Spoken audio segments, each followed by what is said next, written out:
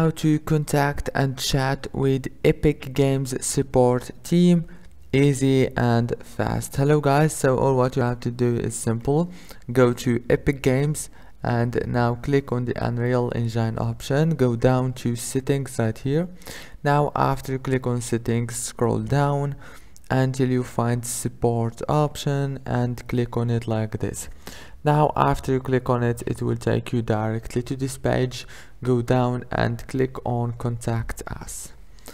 Now after you click on contact us as you can see you can now uh, send them an email and they will answer you as soon as possible. Cause they answer quickly.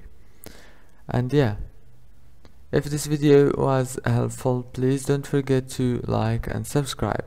Also you can chat with the player support from here but right now they are not available. And yeah that's it for today's video. See you later